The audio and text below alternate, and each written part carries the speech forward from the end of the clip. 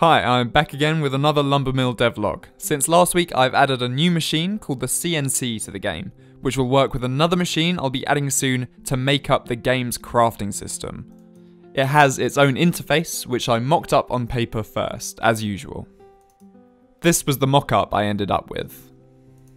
With that, I got to work on making the interface in Unity.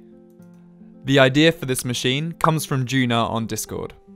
It takes planks and lumber as input and cuts out parts to be assembled into different objects which the player can sell. At the moment, this is really just basic stuff like furniture, but if there are any cool things you'd like to be able to craft in the game, let me know in the comments. The interface is a sort of crafting menu, where the player can select a thing to create, and the machine will output that thing if the ingredients are correct.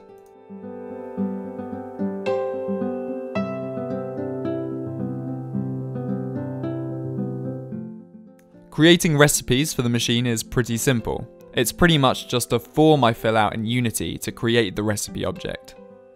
To test the machine, I created a template in Aseprite, just indicating the direction the object should move, and where conveyors should attach to it. Next up, I had to create the control panel. This will allow the player to see important information and simple controls for the machine, and the option to open up the CNC menu.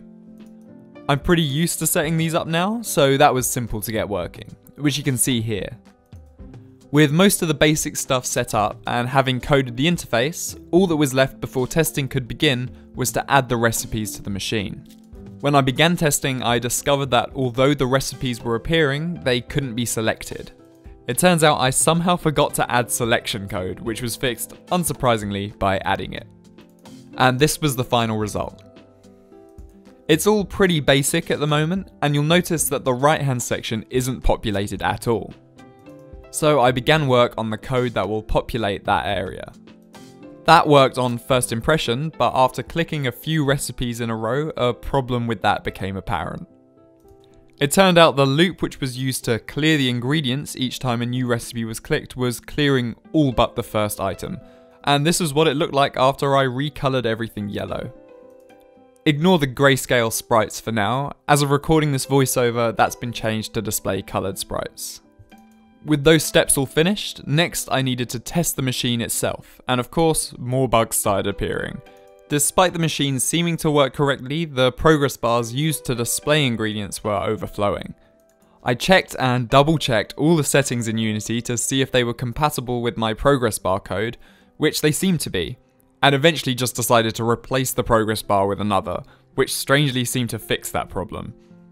So this was the result of that. The progress bar fills as objects enter the machine.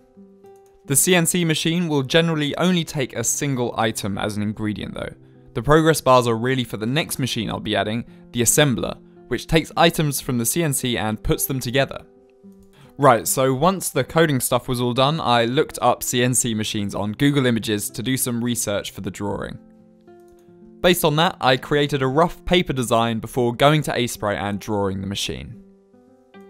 The basic idea is there's a router on the top of the machine which moves back and forth when items are created, and the buttons on the side represent the controls.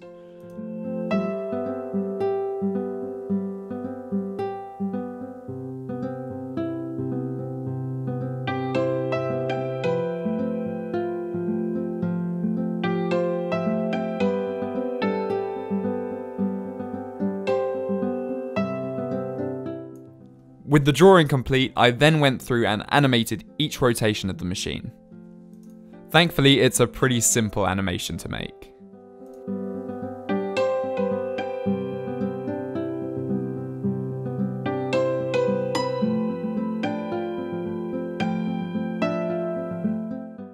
I imported that as a sprite sheet into Unity, sliced it, and set it up in the machine. Finally, I added an animation trigger in the code, which is used whenever an item is completed. And at last, I finished the CNC machine. This was the result. As I announced last week, the game is now up on Steam. If you haven't already, make sure to add it to your wishlist so you can play the game when it's out. That's all for this week. If you liked the video, do subscribe, and I shall see you next time. Cheers for watching.